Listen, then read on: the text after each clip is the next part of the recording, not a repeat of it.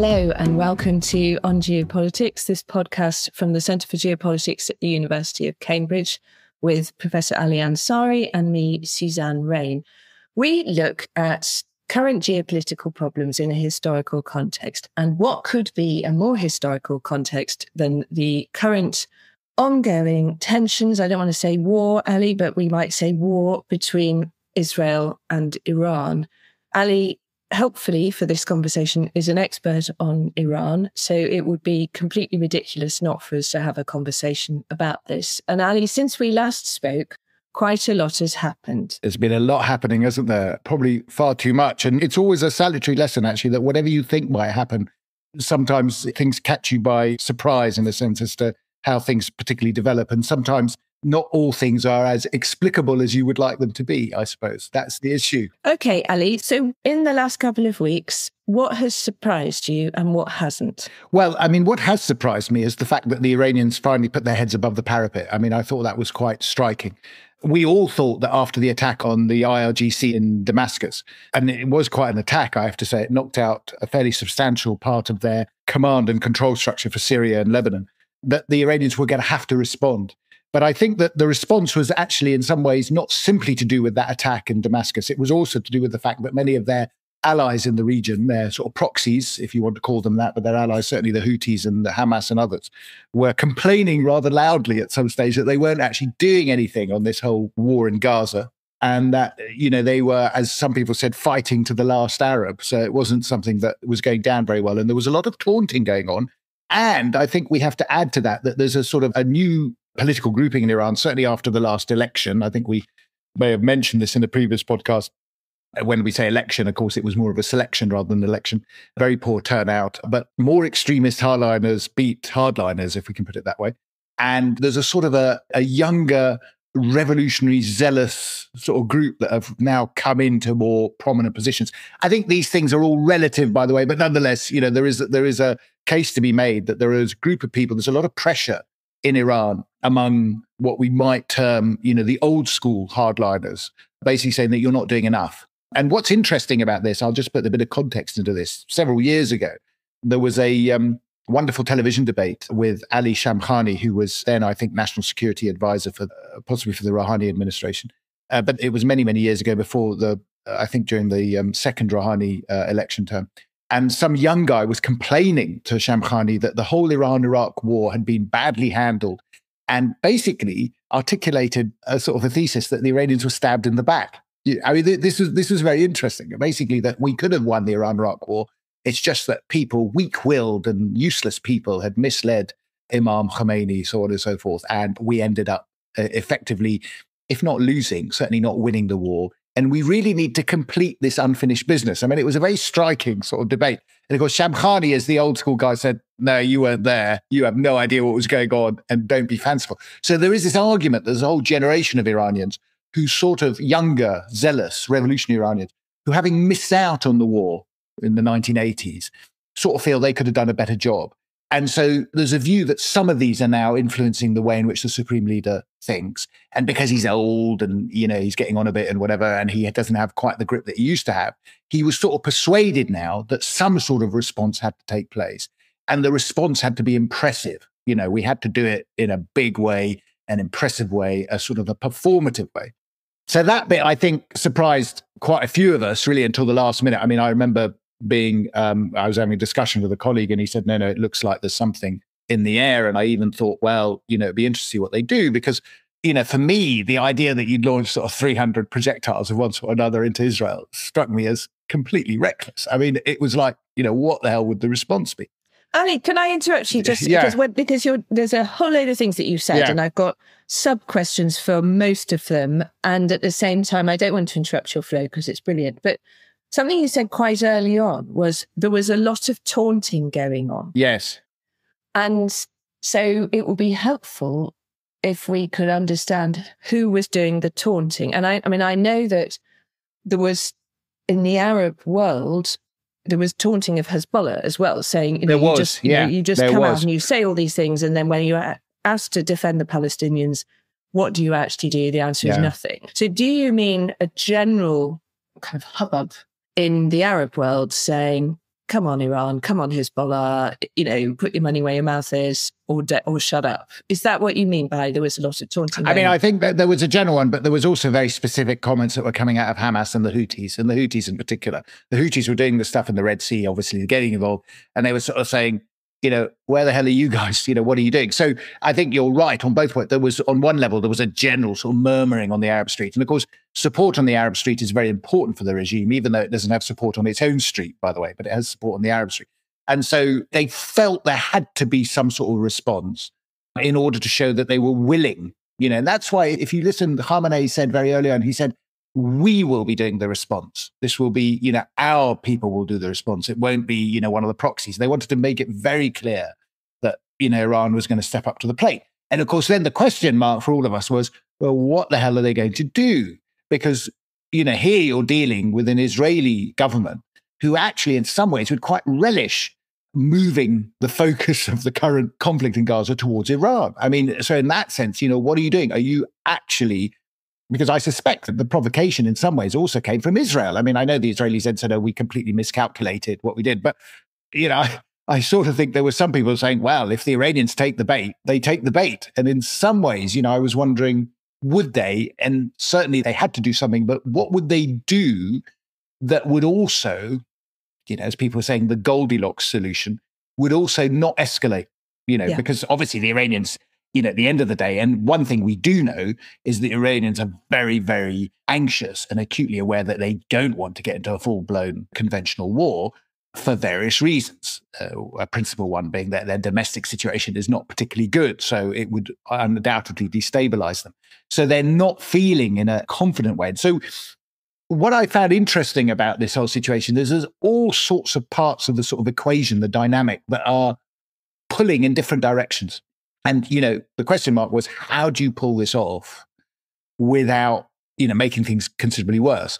So what I think was really interesting about what you just said was that the the taunters in chief or the taunters who mattered yeah. for Iran are Hamas and the Houthis.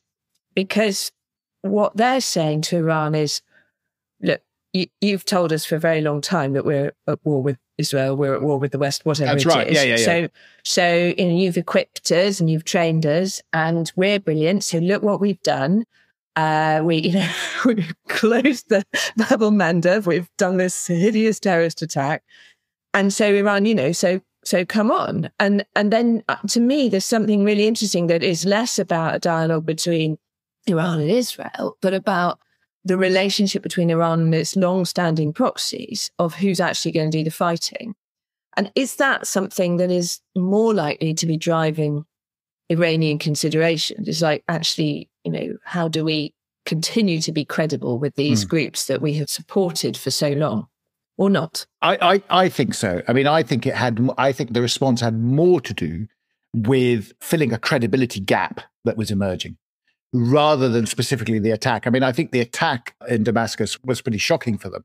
I mean, I think pretty shocking for them for a number of different reasons, by the way. It's not yeah. just simply the scale of the casualties in that sense or the well, quality. in itself, it crossed a threshold, didn't it? Because it, going out and so obviously attacking uh, diplomatic premises is something that is just not really on. No, no, absolutely. I mean, the, the, the thing is, I mean, there are, I have to say, that there is some debate about whether that was specifically a diplomatic premise, by the way.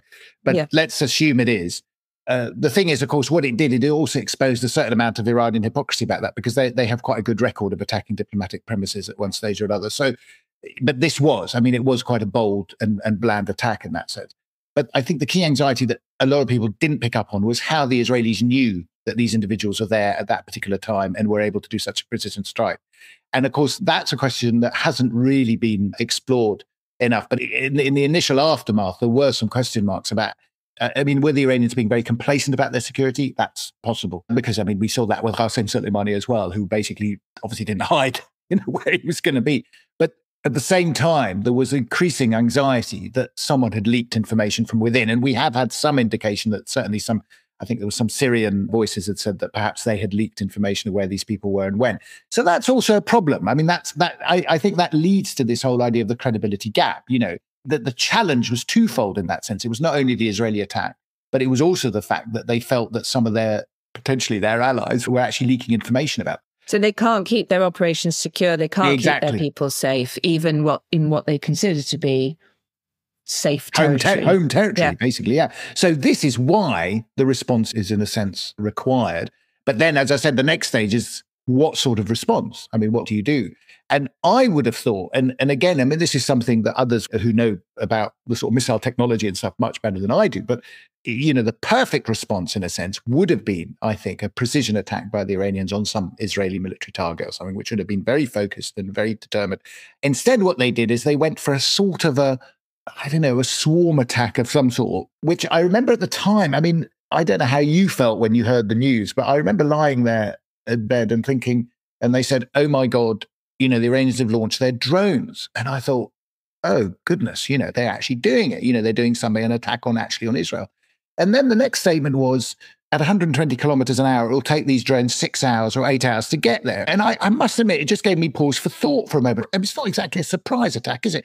So even if it wasn't telegraphed, I mean, in a sense, it was, if I can put it that way. I mean, you know, it, it, it was a very odd way. And I, I always say to people, we ought to not always assume, because we always do it, obviously. I mean, there's two things we do with our opponents. One is we always tend to err on the side of, you know, exactly, you know, it's a bit like the missile gap with, you know, the Soviets and stuff. We always think they're maybe slightly better. You know, we believe some of the cut of their jib, so to speak, as they sort of, that's one thing. But the other thing is also this idea that, you know, actually their strategy or their, or their, or they have a strategy or their sort of military thinking is actually quite sophisticated in some ways, or they haven't misunderstood. I mean, I think, you know, the problem is these drones have been quite effective on the Ukraine Russian, you know, border and the frontier. But of course, you're just popping them over the border. I mean, the front line is there and it has an effect. When, as someone said to me, it's like everyone forgot that Jordan exists. You know, it's it's it's like this idea that hang on a minute, this is quite a long way for them to traverse. So again, I I have this sort of question mark about you know what the point of all this was and how they did it, and I sort of understand. There were two impressions given. One was that you know you had this thing that this was very very performative. It was prearranged. Everyone sort of understood, and so on and so forth. But the nagging doubt I have about that is simply that that really depends on the Israelis and your sort of blood enemies playing ball with you. I mean, you know, basically doing what is necessary and shooting all these down, or, you know, everything working to plan or whatever. That's one thing. The other thing, of course, that always had a nagging doubt was the way in which the Iranians presented this attack at home in their domestic sort of networks and television, whatever was pretty horrendous. I mean, they, they, weren't hiding, you know, this wasn't a performative thing at all as far as they were concerned. They were actually doing some serious damage. And they had lots of fake film, one of which was actually, interestingly enough, uh, people at a music concert, but running. But this was actually used to show citizens of Tel Aviv running for their lives, for instance. So, you know, there's that dual narrative. And I did talk to someone, they said it's not obviously impossible for the regime to produce those you know, they've got one narrative for the audience at home and one narrative for the audience abroad. That's absolutely fine. But it sort of assumes that nobody at home is going to pick up any of the information abroad. Do you see what I mean? I mean, it, it's it's just a bit odd to me. I mean, they, people aren't that stupid. They can see what's going on.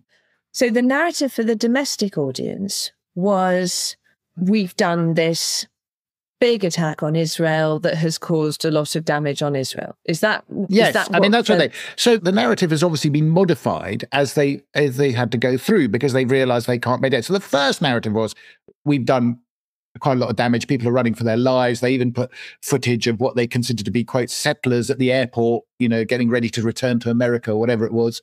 You know, it was a pretty dramatic attack. And and at the same time, I think I, you know, I mentioned this, you know, the IRGC issued three rapidly re-edited pronouncements of the attack as it was going on, basically announcing successful hits before the missiles had actually got there. I mean, so there was already a pre-prepared script, is what I'm saying. You know, they'd sort of said, "We've done it. You know, it's done."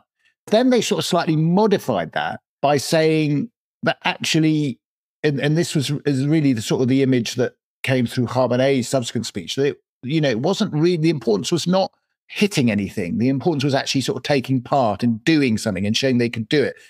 And then they said, of course, other people said that the whole strategy there was purely to reveal Israeli defenses, and they've obviously kept all their superior weaponry behind. Now, that's something that other people can discuss. I don't know. I'm not inclined to think that that, I, I think that's all spin, my view, but other people will be in a better position to say, is that the strategy? The strategy was simply to see what the Israeli defenses were like so that later on they can do something more serious. I mean, my own view is that I think that's bluff and spin, but there you are. It's the reason that this is a bit confused the fact that it's really difficult to do battle damage assessment. So, or whatever the, yeah. the phrase is. So, essentially, you fire missiles at someone else, and you have to then wait and see whether you've hit the target, what that's kind right. of damage it's done. I mean, that's always been a difficulty, and and we assume you know, America can't do that very yeah, well. Absolutely. sometimes America will fire a missile at something and they'll say, we completely hit the target. And then 48 hours later, they'll say, oh, no, we didn't. We hit the house next door or, you know, whatever it is. I mean, it's a very imperfect science because it requires you to have satellite coverage of your target, to have the That's analysts right. who are yeah. looking at it. And if you're firing 300 projectiles, which is a variation of drones and missiles, working out quickly what's happened to them all. and I, I mean, I'm not technical on this, but I'm assuming that working out what's happened to, you know, 100 little drones yeah. isn't straightforward if they've been shot down over Jordan or somewhere. So it's not impossible that the confused messaging that you're getting, certainly over the first couple of days, is due to the fact that they're not entirely sure what the overall result looks like, that they're still trying to piece that together, while also, because, and this is just my hypothesis, mm. i'm using shoot it down, but while also in a military command structure or in a civilian command structure, where obviously truth to power isn't straightforward. So saying, oh, by the way, they've all been shot down isn't a message that's easy to pass on. That's right, yeah. But also, you, you probably don't know straight away what's happened to them all. So that kind of adjusting of messaging as it's going on may be to do with a mixture of genuinely it taking some time to understand what the actual results has been, mm. but also taking some time to work out what the message you're going to pass to your superiors is. And then, you know, you just think about, you know, even a really efficient government's comms system yeah, sure. is not great. I wrote something recently, Ali, about the difficulty of understanding one's adversary. And That's I right, think, yeah. you know, we're in a situation where the real risk is that the level of understanding of the other has really collapsed because exactly as you said, we're assuming a degree of capability and perfection in the other, which we would never be able to replicate ourselves. And then we're interpreting on that basis rather than on the basis of them being a muddled, confused, you yeah. know, fairly effective military with a fairly effective command and control structure and a fairly effective comms system, all of which means that there might be failures on. I mean, there'll be frictions, right there. I mean, there'll be frictions. I mean, I think I think that point's absolutely right, except for the fact. I mean, the one sort of anomaly in, in that sort of thing is that the speed with which they came out with their results so they were basically coming out with the results before the missiles had landed, which is sort of like, you know, I mean, there's two ways of looking at it. And I think both in some ways are right. One is that clearly it's pre scripted and they have a performative sort of element for overseas. But I think you're spot on also by saying that they were also with an eye on what they're going to say to the boss. You know, oh, we've been very successful. Now, what's interesting about Khamenei's response a few days later, of course, is he's obviously seems to have been alerted to the fact that actually nothing or very little got down. I mean, some of the stuff got down to that Israeli airbase, as we know, whatever. And we don't know precisely what the damage was there. But I mean, of 300 and whatever it was, I can't remember, 310 or something or whatever it was, seven missiles got through, which is, I mean, you know, is interesting. I mean, the thing is how guided these were, I, I don't know. The other part of it, which is also quite interesting, of course, is the Israeli counterstrike. Again, the Iranian response to that was almost immediate. So, you know, they, first of all, they diminished it and said, oh, this is nothing but quadcopters. The Israelis have sent toys against us or something. And then, you know, they, they had this and it went viral, I think, on Iranian side. They sort of passed on to this presenter in Isfahan, almost immediately stood in front of, you know, the main square in Isfahan and said, look, it's a beautiful day here and absolutely nothing's happened and everything's marvelous and all this. And everyone said, you know, what? You know, obviously they hadn't targeted the main square in Isfahan. It was obviously a base further out. But, you know, he was absolutely straight on. And, you know, it's good. It's, it's good information management domestically, you know, but it was so quick that saying, you know, nothing to see here, not a problem, all this. You know, nobody had done the assessment as you say, of course, I mean, one of the things that the Israelis and the Americans and others, of course, have is they have more, sat, you know, we have satellite capability, which the Iranians don't. So they were then able to look at the satellite pictures of what was going on in Isfahan. And two things become increasingly apparent. I mean, over several days, it took, as you say, several days, nearly a week for us to sort of basically get some sort of basic assessment.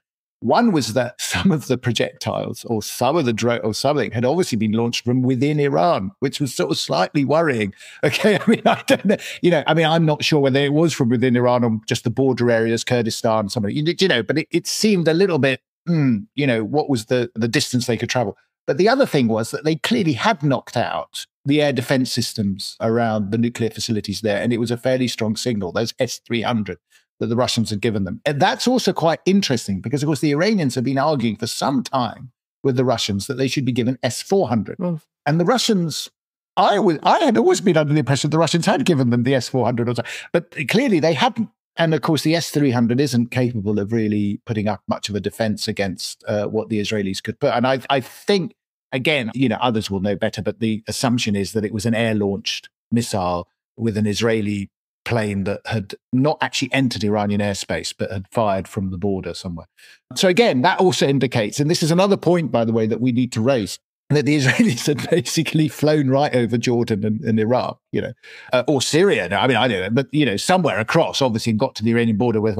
And it also, you know, reminds us that in the defense of Israel, we had clearly the Jordanians and I suspect, and I think it's fairly clear the Saudis had also played some sort of role.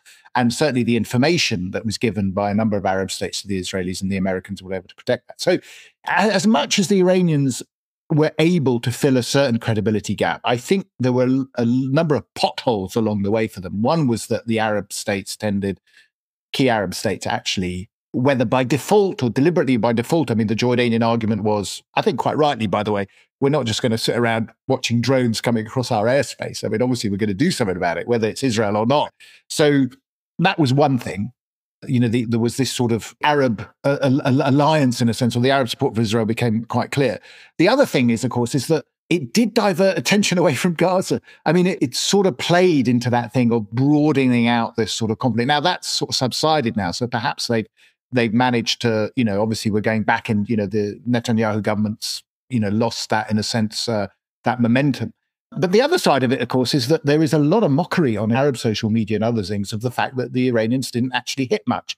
And for all the bombast, there wasn't a huge amount going on. And they found it all a bit, you know, so it's, it's interesting to know how much of that credibility gap has been uh, filled. Uh, and I suspect it's it's much more debatable than uh, than obviously the way the Iranians want to present it. That some Arabs are sort of saying this this wasn't actually as impressive as we thought it would be. And you know, if you believe, for instance, that fifty percent of the missiles actually never launched or fell short. I mean, quite a few fell in Iraq, and there's also some evidence that some of the missiles were launched without warheads. I mean, basically just to launch something. Again, I think people will have to make an assessment of this in the long term, and there will need to be a proper military assessment. But these are things that sort of suggest that the Iranian missile um, force is not as necessarily as sophisticated as, as people think it is, that they have a lot of very good, cheap drones, which are very effective on a front line, sort of like suicide drones that can do this sort of stuff. But in terms of long distance strategic, you know, missile, it's not really there yet. And, you know, there was one incident on the evening, which I, I, I, sadly can't find it because I think they've deleted it for obvious reasons, where one of the Iranian news agencies sort of bragged about and said, oh, we've hit Hebron. And I, I sort of said to someone, I said, isn't Hebron in the West Bank? I mean, you know, you did sort of think for a moment, crikey, what if some of this stuff had hit Palestinian? You know, all we need is for one of them to hit, Gaza. I mean, it, it would just would have been a fiasco. Uh, but it, it just sort of lets you think that how precise is this equipment? Now, others will be able to answer that, to be honest. I'm not going to make a statement. And I, if you go on the sort of rather jingoistic, I have to say, Iranian, uh, some of the pro regime, you know, it's very jingoistic. It's quite unpleasant, to be honest, but it's remarkably, you know, they all think that, you know, this is a marvelous show of power and, you know, the Iranians have all their sophisticated equipment waiting in reserve and so on and so forth.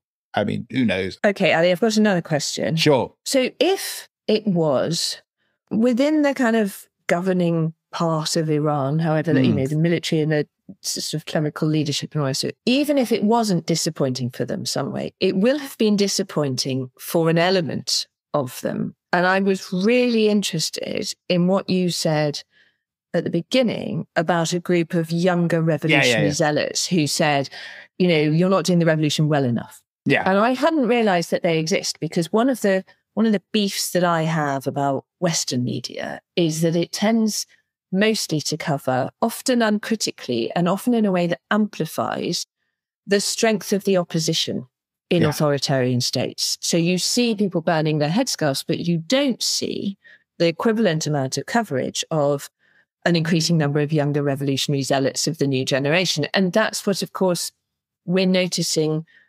across the world. You know, there's sort of a whole load of different forms of more radical, more impatient mm. versions of an earlier thing. So the kind of I mean, I did something recently on IS Khorasan and said, you know, the reason that they're attracting young people away from the Taliban is because they've got the get your have done message. So what you've suggested to me is that there is a younger generation who says, not we're tired, the revolution was yesterday's war, uh, we just want to burn our headscarves and live a lovely Western life, but actually we're impatient because mm. the revolution hasn't been fulfilled. The yeah. reason, you know, the reason we've got all these problems is, is not because it was a failed idea, but that but that it's not been implemented vigorously enough. Yeah. We didn't do, we it, properly. it properly. Yeah. So I hadn't been aware that that group of people existed because the coverage, the media coverage that we mostly get focuses almost overwhelmingly on the opposite because it tells us the story we want to hear rather than the story that we might need to hear.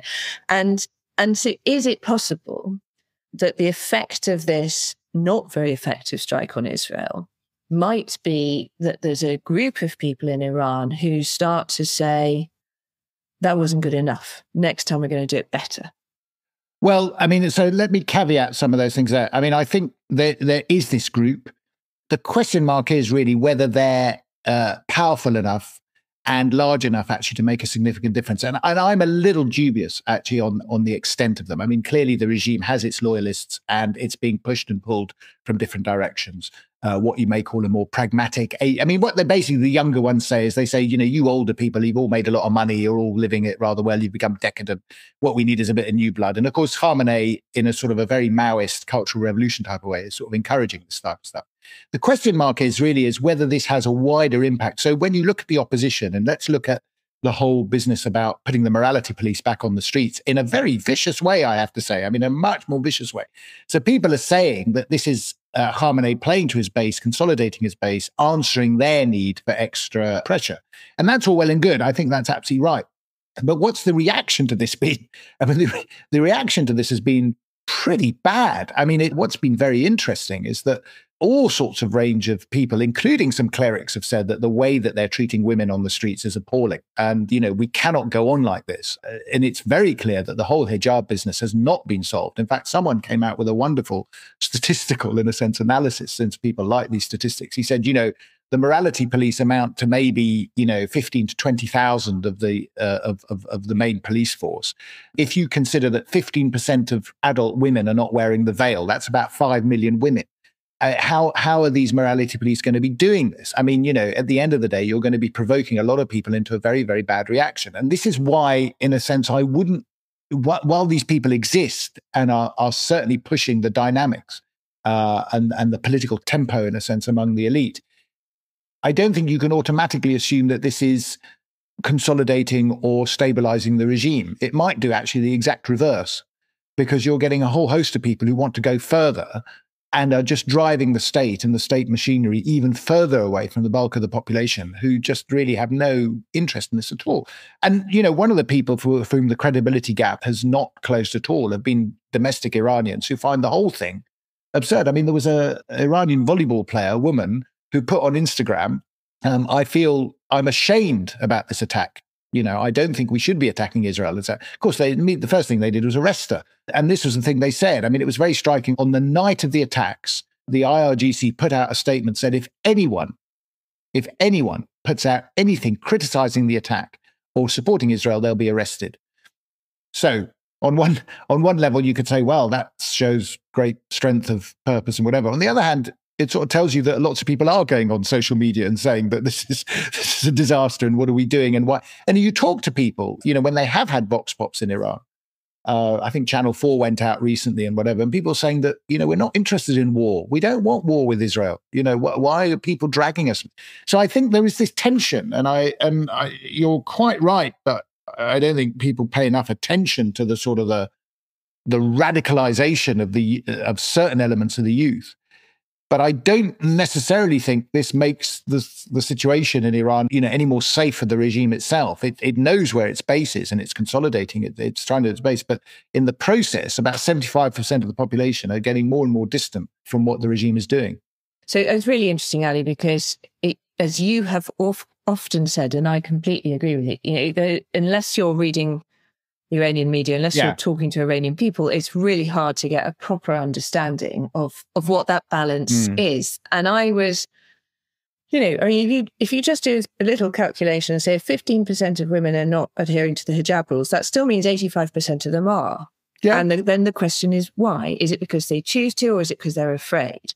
And you can argue that for most people, you'd be afraid. But then there's also, and you you you will have the figures or the, the information more than I do, but there's something really deep about the number of people who are employed by the government in Iran, isn't it? So, so when you're looking at the Basij on the streets or all this, you know, there's it, a very, very high percentage in relative terms of the population have some kind of state employment, which binds people into are you, are you looking at me like you don't know what the figures are? No, no, I do. I mean, you're right. I mean, they, they say it's about 40% uh, in yeah. terms of, so, so there is. There. I mean, again, here's the question mark. And you're quite right to say, and it is one of the arguments for the sort of resilience of the state, is basically they have a, a sort of wide patronage networks. You know, they're, they're using money to basically supply and bind people to them. The, the problem with that argument is simply that, you know, the economic crisis facing the country means that they're not actually doing. You know, these coupons and subsidies and whatever are not actually delivering where what they should be doing. And many people are on strike, of course. And now, of course, the argument is they say, ah, but can they afford to go on strike? Uh, because you know they need to, to earn to make money. But the, the point is, if you haven't been paid your salary in six months, it doesn't really make a huge amount of difference. I mean, do, do, do you see what I mean? I mean, the, the, I think the debate we have now about quote authoritarian resilience or otherwise, and we've talked about this before, yeah. I think is still far too one possibly two dimensional. I wouldn't even go further than that. I don't think people are still trying to fit evidence into the categories that they've invented for themselves. And in Iran, it's quite true that it's not like the period of the Shah, where people were much wealthier and could afford to go on strike, so to speak. But the point is, is that now you've got into a situation where the state is not delivering on a whole host of things.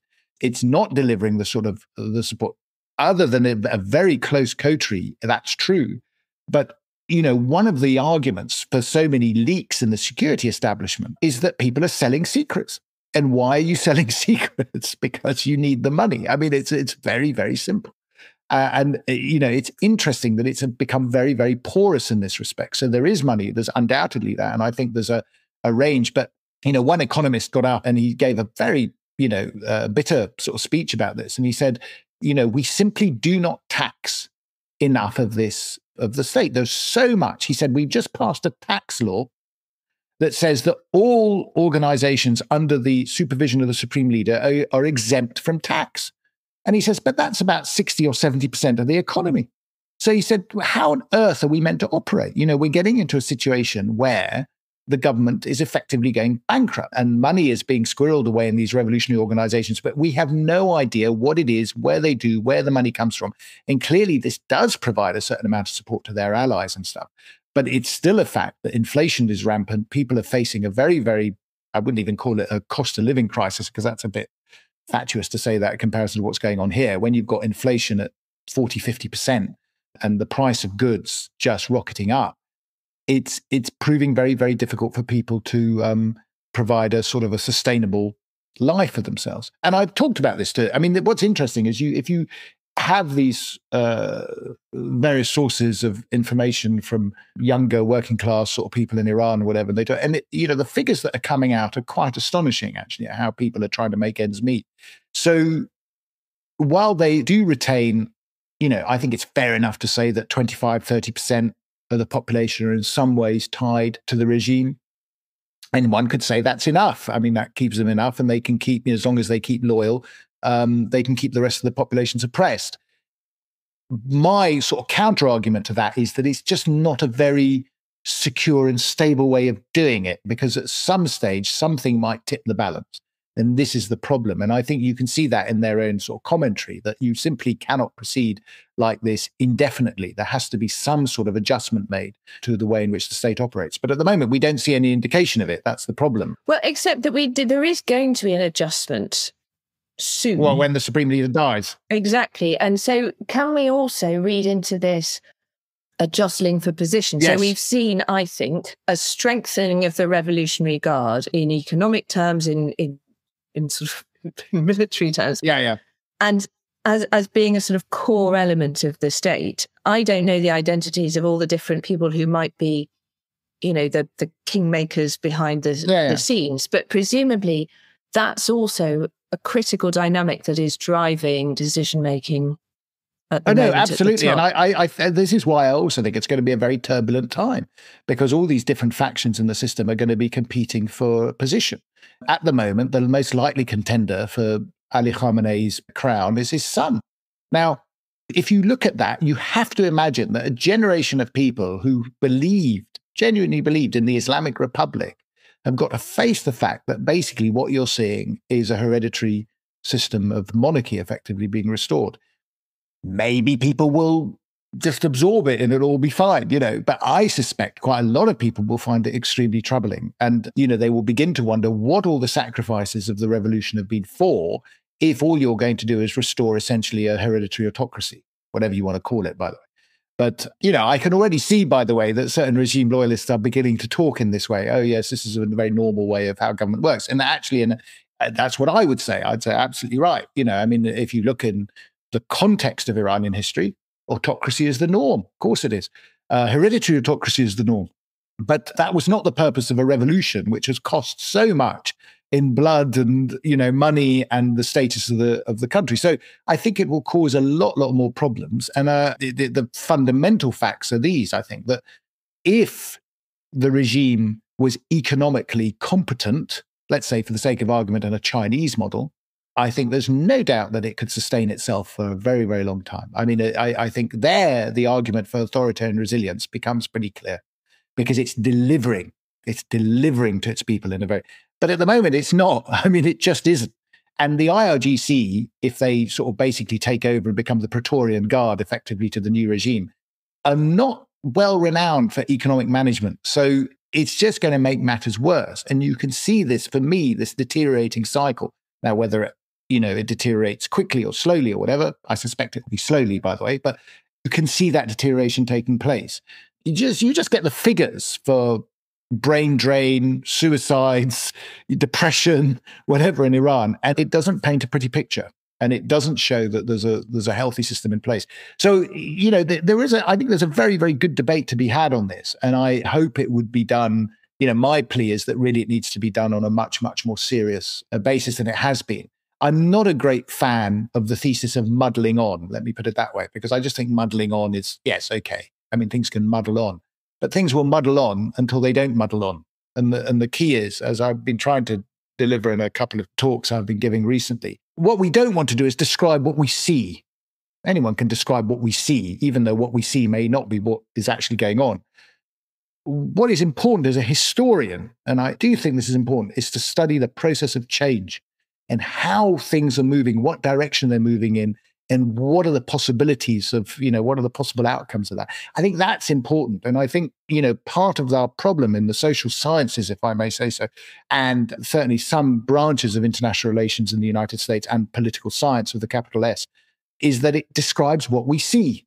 And uh, that's all well and good, but it doesn't tell you or I or anyone involved in policy what's going to happen in five years' time, three years. Do you see what I mean? I mean, and I think that's completely the agree key. with you, Ali. That's the key.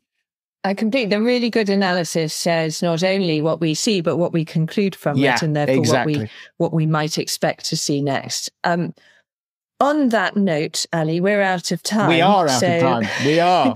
but can I thank you for no, thank you. those really fabulous insights? And uh, clearly, this is an evolving. Situation. It's an evolving situation. Needless to say, the minute we wrap this up, something else will happen. So, uh, but I don't think you've said anything that commits you to one position or No. another. So that's Yeah. terrific. And we'll keep talking about it, Ali, because I really value your great expertise on this. So thank you very much Thank to you. you. And thank you to our listeners. And goodbye.